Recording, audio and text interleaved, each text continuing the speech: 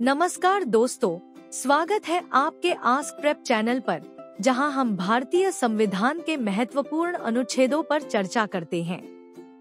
आज के वीडियो में हम बात करेंगे भारतीय संविधान के उस अनुच्छेद की, जो हमारे मौलिक अधिकारों की सुरक्षा में एक अहम भूमिका निभाता है, अनुच्छेद बारह। इस वीडियो में हम कवर करेंगे। अनुच्छेद बारह का परिचय। राज्य की परिभाषा। अनुच्छेद 12 का दायरा। न्यायिक व्याख्याएँ और महत्वपूर्ण नज़रिए। और सबसे महत्वपूर्ण, अनुच्छेद 12 का मौलिक अधिकारों पर क्या प्रभाव पड़ता है? चलो दोस्तों, अब बढ़ते हैं हमारे पहले पॉइंट की ओर, भारतीय संविधान के अनुच्छेद 12 का परिचय। अनुच्छेद 12 संविधान के भाग थ्री में पहला अनुच्छेद है, जो मौलिक अधिकारों से संबंधित है। यह राज्य शब्द की परिभाषा करता है, जो महत्वपूर्ण है क्योंकि केवल राज्य की गतिविधियों को ही मौलिक अधिकारों के उल्लंघन के रूप में चुनौती दी जा सकती है, जो अनुच्छेद 14 से 35 के तहत आते हैं। यह समझना ज़रूरी है कि राज्य क्या है, ताकि यह जाना जा सके कि मौलिक अधिकारों को किसके खिलाफ लागू किया जा सकता है। अब दोस्तों बात करते हैं हमारे दूसरे पॉइंट की, अनुच्छेद 12 के तहत राज्य की परिभाषा। अनुच्छेद 12 के अनुसार राज्य शब्द में शामिल हैं। भारत की सरकार और संसद यह संघीय सरकार की कार्यकारी और विधायी शाखाओं को संदर्भित करता है। प्रत्येक राज्य की सरकार और विधायिका इसमें राज्य स्तर की कार्यकारी और विधायी प्राधिकरण आते हैं। स्थानीय प्राधिकरण इसमें नगरपालिका, पंचायत आदि जैसे स्थानीय निकाय शामिल हैं। अब बात करते हैं तीसरे पॉइंट की, अनुच्छेद 12 का दायरा। ये पॉइंट काफ़ी दिलचस्प है क्योंकि यह हमें बताता है कि राज्य की परिभाषा कितनी व्यापक है और इसके तहत कौन कौन से निकाय आते हैं। अनुच्छेद 12 में राज्य शब्द का व्यापक रूप से उल्लेख किया गया है। और इसके दायरे को विभिन्न न्यायिक व्याख्याओं द्वारा स्पष्ट किया गया है भारत की सरकार और संसद, इसमें केंद्रीय सरकार की नीतियाँ, कानून और कार्य शामिल हैं।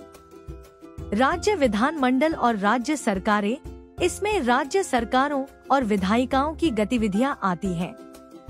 स्थानीय प्राधिकरण, इसमें नगर पालिका जिला बोर्ड और अन्य निकाय आते हैं जो सरकारी कार्यों का संचालन करते हैं अब दोस्तों, बढ़ते हैं हमारे चौथे पॉइंट की तरफ़, अनुच्छेद 12 की न्यायिक व्याख्याएँ। राज्य की परिभाषा को समझने में कोर्ट के फैसले बहुत महत्वपूर्ण भूमिका निभाते हैं। तो चलिए, कुछ ऐसे अहम केस देख लेते हैं, जिन्होंने राज्य की परिभाषा का दायरा बढ़ाया है। राजस्थान बिजली बोर्ड बनाम मोहन लाल, उन्नीस इस मामले में फैसला दिया गया कि जिन निकायों को कानून द्वारा स्थापित किया गया है, वे भी राज्य माने जाएँगे।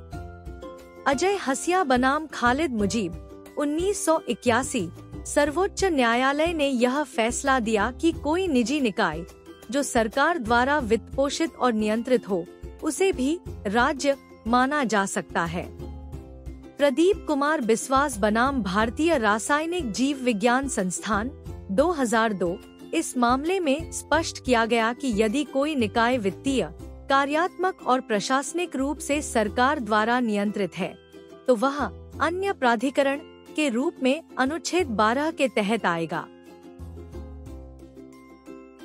अब बात करते हैं हमारे पांचवे पॉइंट की, मौलिक अधिकारों का प्रवर्तन। यहाँ अनुच्छेद 12 का असली महत्व समझ आता है। क्योंकि यह हमारे मौलिक अधिकारों को सुरक्षित करने के लिए किस तरह काम करता है, इस पर निर्भर है। मौलिक अधिकारों का प्रवर्तन। अनुच्छेद 12 यह सुनिश्चित करता है कि किसी भी मौलिक अधिकार का उल्लंघन राज्य के खिलाफ लागू किया जा सकता है।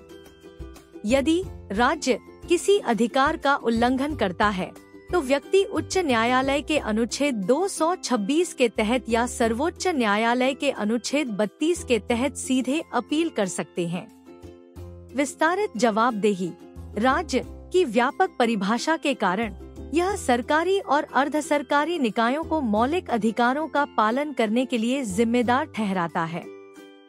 अगर आपको यह वीडियो जानकारी पूर्ण लगा तो इसे लाइक करें, अपने दोस्तों के साथ शेयर करें और चैनल को सब्सक्राइब करना न भूलें, ताकि आप आगे आने वाली और भी महत्वपूर्ण वीडियो मिस न करें।